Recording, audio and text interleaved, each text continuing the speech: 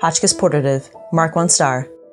Weighing in at 26.5 pounds with an overall length of 48 inches, this is certainly more portable than the 1914, but not by much. Loading up with our action cocked, we pop up our camming finger and load in our stripper clip, with the cartridges hanging under. Gotta get it in just right. Don't worry, she'll tell you when she's in. Our cocking arm sets the mood. S for safe, R for repeating or semi-auto, A for full auto, and D under the bolt handle for disassembly if you need it. Feels easy to lose your place though. Shooting 30 rounds of 303, recoil is surprisingly light and linear. Adjust the gas system to your loads for best performance. The trigger is a heavy but even pull. The side-mounted tangent leaf your sight with triangle front are a simple read. The flip-up tab on the stock stabilizers are well on my shoulder. And that crow's foot tripod, great for swiveling, but lever unlocked and it's swivel wobble time. Overall, a fun shooter today, but it feels a bit too fiddly and finicky for me to want to use it under pressure. If you'd like to know more, subscribe to C&Rsenal.